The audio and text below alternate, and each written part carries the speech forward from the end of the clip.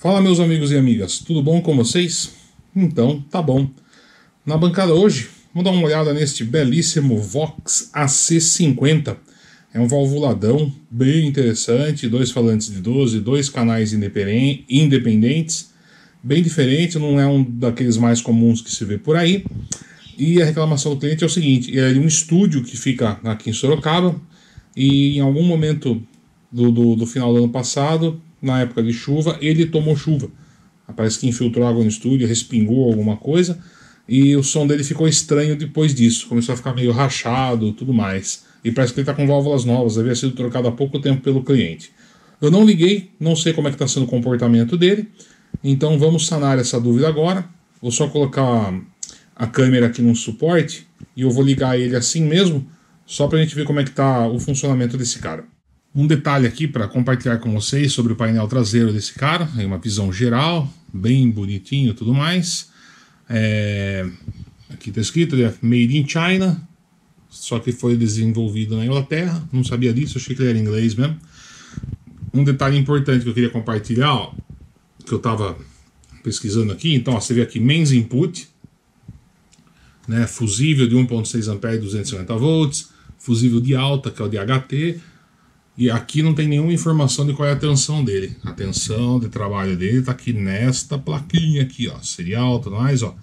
220 e 230 volts, 50 ou 60 Hz, 220 watts é o que ele consome da rede, tá? Não é o que ele entrega. Então aqui está o modelo ó, C50 CP2, 2 de 12 e tudo mais. Então esse amp é 220 para poder funcionar adequadamente. Vou ligar no meu bom e velho regulador Smithers, que está aqui no cantinho. Vou setar ele para 220 volts e vamos testar esse cara. Vamos ver então. Ligado aqui na, em 220 volts. Deixa eu fechar todos os controles. Ele já está com o power ligado, já há alguns segundos. Vamos ver. Treat standby. A luz do standby acendeu bem devagarzinho. Vamos ver. Master. Volume. Deixar os controles aqui meio que na metade. Eu tô no canal 1, né? Tô. Ah. Ouço um cachado bem de fundo. Ó, que desgraceira.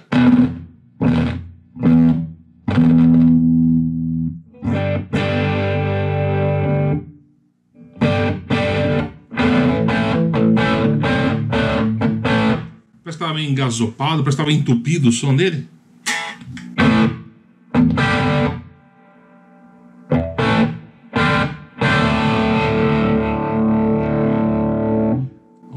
2. Tem um monte de chave aqui. Deixar tudo na metade também. Aquele reverb.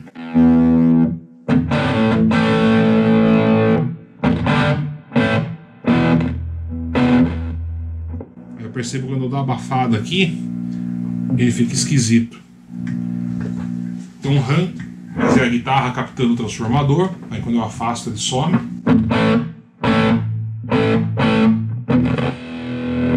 Sumiu.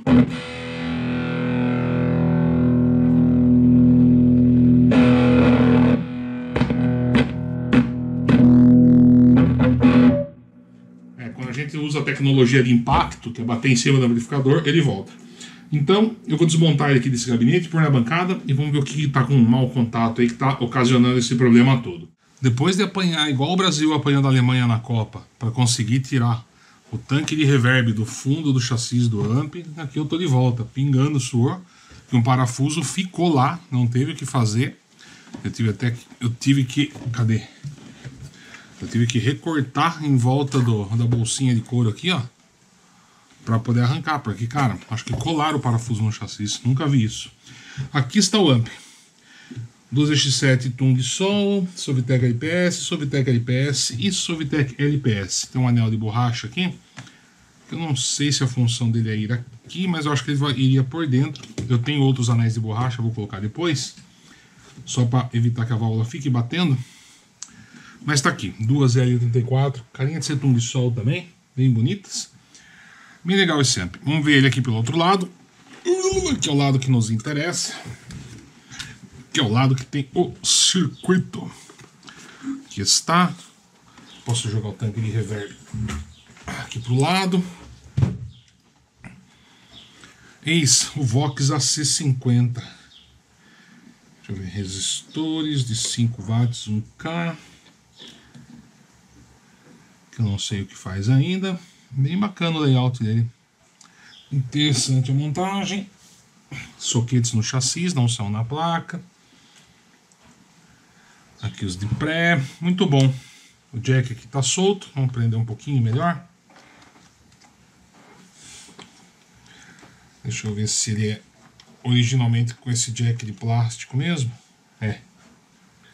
é só tem que reapertar.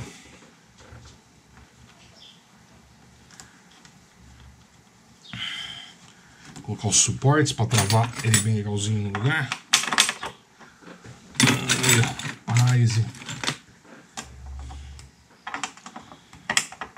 Pronto. Essas porcas de plástico também não pode apertar muito. Porque senão elas quebram, aí perdeu. Aí danou-se. Então vamos lá.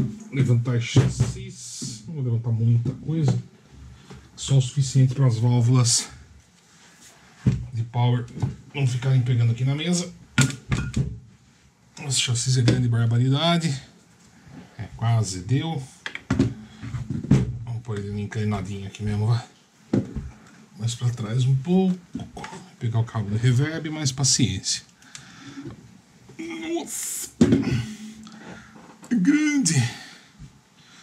Para vocês aí vai ficar meio difícil de ver.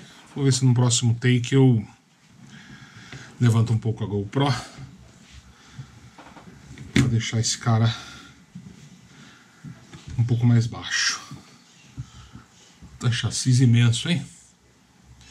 Muito bem. Deixa eu colocar um prolongador aqui de P10 para poder ligar os, os falantes. Reverb está ligado, cabo de força está aí atrás em 220. Como nós tínhamos visto no take anterior. Parecia ser problema de mau contato, né? Que tem alguma coisa que vai e vem falante deste lado, em 16 ohms originalmente. E vamos lá. Aí tem uma caixinha aqui bacana para tirar interferência de alta de radiofrequência. Deixa eu dar uma pausinha na câmera, vou levantar um pouco mais aqui para pegar melhor esse amp. Acho que agora uh, tá mais interessante a visualização aí, né? Estou apanhando aqui ainda dos suportes. Acho que não está bem posicionadinho, agora foi. É essa caixinha aqui que eu me refiro, que ainda não aparece para vocês. Oh, oh, oh, mas tem aqui negócio para filtragem eletro, de interferência eletromagnética. Vamos lá. Amp ligado.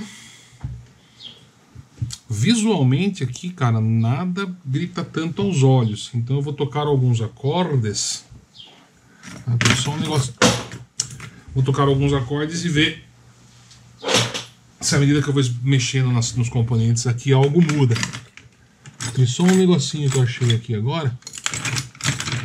Estou tentando pegar um pauzinho aqui com um chopstick. Já está.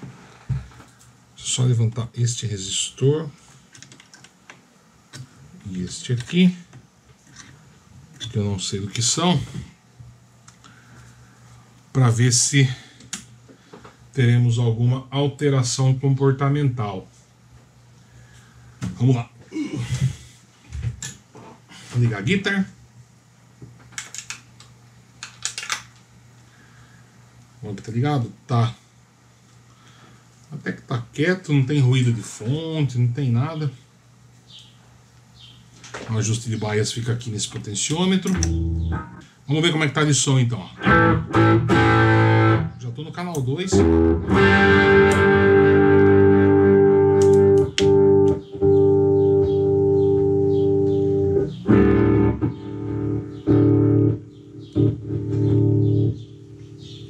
Quando eu mexo na placa do pré aqui, o bicho pega. E agora é multicabo.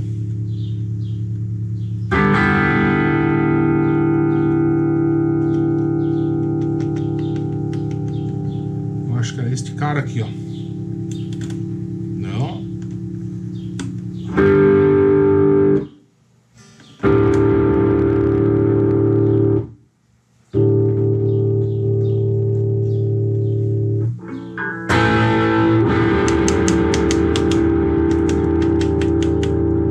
Será que é só esse conectorzinho com os mar? Vou rodar mais um pouco com ele e já volto aqui. É, meu povo, rodando com o amp aqui, não apresentou mais nada. Eram apenas aqui mau contato nesse, nos conectores. Acabei passando um esmalte para ele ficar bem firme aqui.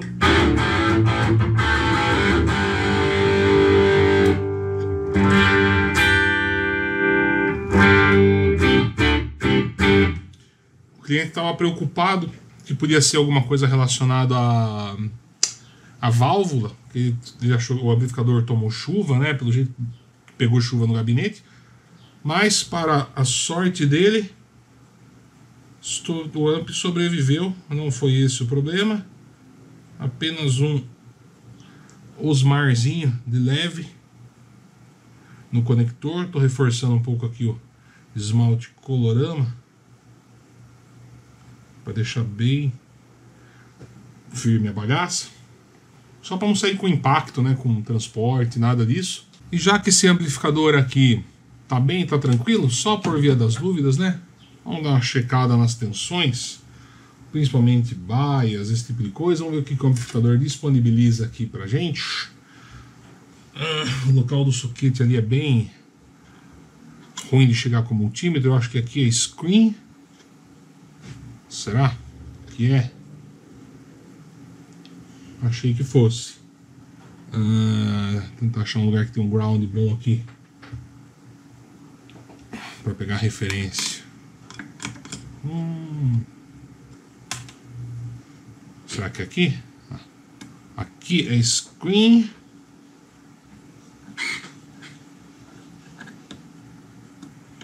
Aqui também.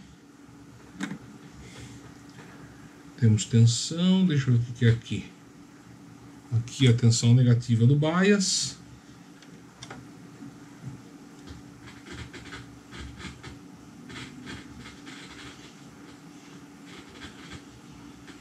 Ah, é mais ou menos um valor dentro do esperado. Será que isso aqui é catodo? Hum, deixa eu ver. Eu acho que é catodo, eu consigo saber qual é mais ou menos a corrente de catodo desse amp. E aí ajusta por esses trimpotes aqui. Ah, ele tem um trem ali, tem conector. Achei. Mais fácil ainda. Vê? Já compartilho com vocês. Deixa eu só colocar a ponta de prova do meu multímetro aqui. Tá meio folgada. Deixa eu ver se é isso mesmo. Se eu vou ter uma leitura aqui. 26. 34. Vamos ver se é a mesma leitura que eu vou ter aqui. Uh, 26. 34 é a mesma. Aqui é o catodo, então. Então, vou dar uma igualadinha nele. O lado que está com 26 aqui. Pronto. Deixa eu ver qual que é a tensão de mais B desse cara. Hum, esse aqui é screen 427. Será que é algo perto de 450 volts? Vamos ver se eu acho uma alta aqui. Para ter uma ideia.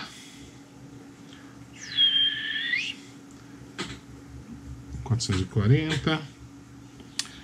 Pensar em 442 volts um amp de 50 watts, com duas L34. Vamos para a calculadora. Calculation, deixa eu tirar a luz aqui para a gente enxergar melhor a calculadora. Então esse amp tem 50 watts, certo? Em repouso, sem sinal, dissipar 70% disso. 35 watts em repouso, dividido pelos 442 volts 79 mA no par. Se eu dividir por 2, cada válvula com 39 mA é um ajuste de 70% de dissipação neste belíssimo Vox. Como eu gosto de pecar esse conservador nesse aspecto, 33, deixa eu ver se é esse aqui. 39, baixar um pouquinho, 38.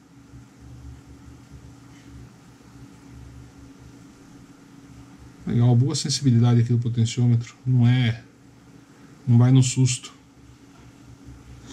38. Vamos ajustar a outra.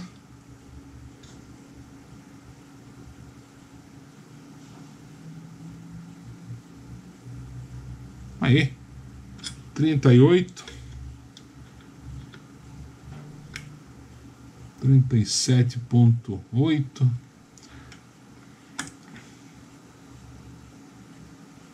Isso aí, gente. 37,5, 37,6. É 37. Era para ser 39, um pouquinho menos para a gente ser mais cuidadoso. O amp não tem um ruído, não tem barulho, válvula aqui tá tudo quietinha. Eu acho que vai ser só montar e correr para o abraço. Aí eu faço um videozinho mostrando aqui ele no gabinete com um pedal de delay no loop, tá bom?